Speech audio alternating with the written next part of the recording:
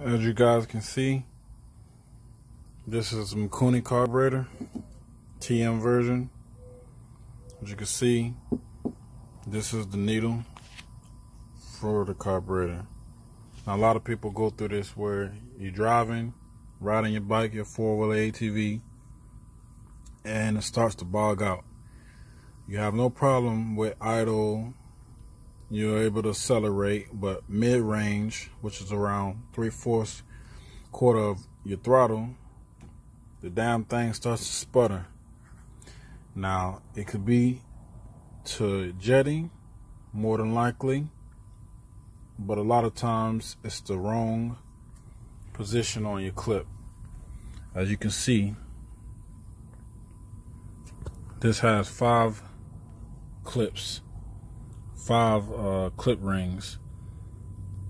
So one, two, three that is on, four and five.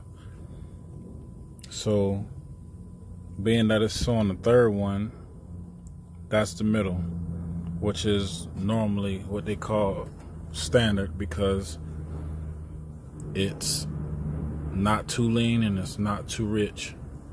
If you want to get it more richer, say your bike is starting to bog, it's more than likely because it's too rich. And spark plugs aren't able to burn the fuel that you're giving it. So that also goes hand in hand with the jetting. The main jet could be too big, but you might need a downsize, a couple sizes smaller. So with that being said, as you can see, mine is on the third pin, third clip. So since mine is actually bogging out around higher mid mid range RPMs, I'm going to wind up switching mines one clip up, which will make mines a little leaner, leaner. So if you're having that problem, guys, definitely with a flat side carburetor or any carburetor,